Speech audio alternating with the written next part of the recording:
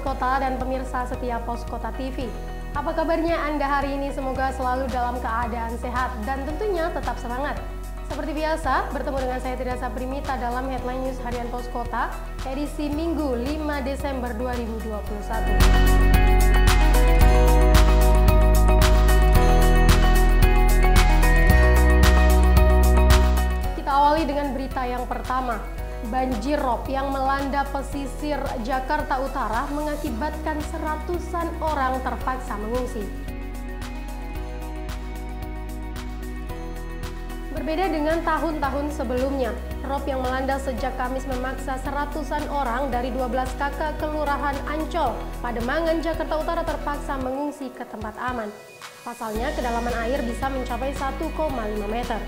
Ketua RW 8 Syaiful mengatakan banjir rob yang menerjang kali ini jauh lebih besar dari sebelumnya. Banjir rob yang merendam wilayah pesisir Jakarta Utara itu diduga terjadi akibat adanya tanggul penahan yang jebol di sisi pantai.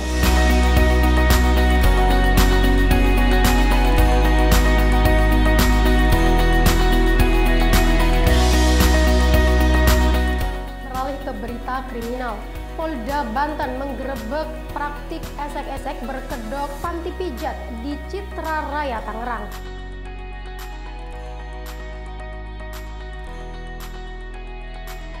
Dari penggerebekan tersebut, polisi mengamankan beberapa terapis, yaitu sepasang suami istri, panti pijat, dan juga karyawan. Selain itu juga disita kondom bekas pakai, spray, dan juga handuk.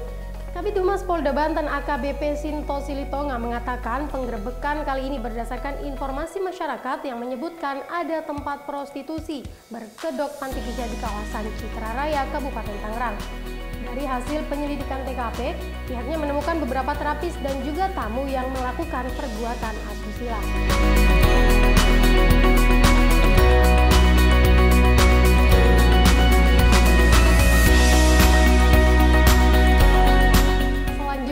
Masih dari serial mengintip sidang cerai di pengadilan agama. Kali ini pemirsa Pos Kota punya kisah lika-liku pengacara yang menangani perkara pasutri di pengadilan agama Bogor.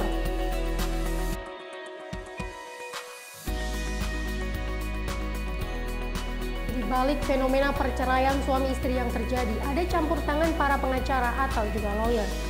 Salah seorang pengacara muda, Anggi, mengaku jika timnya banyak menangani perkara pasutri hingga pendampingan di persidangan.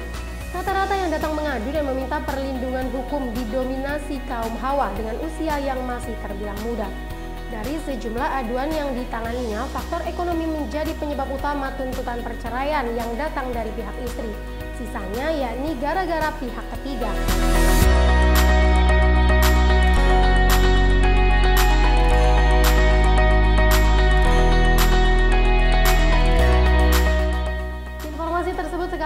Mengakhiri perjumpaan kita dalam Headline News Harian Pos Kota edisi Minggu 5 Desember 2021. Tentunya masih banyak lagi informasi menarik lainnya di antaranya rubrikasi khas Pos Kota yakni kuliner, pelesir, komunitas, dan juga otomotif.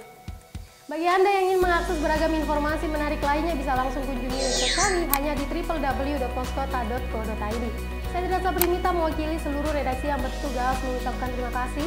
Selamat pagi dan selamat berakhir pekan. Tetap patuhi protokol kesehatan. Sampai jumpa.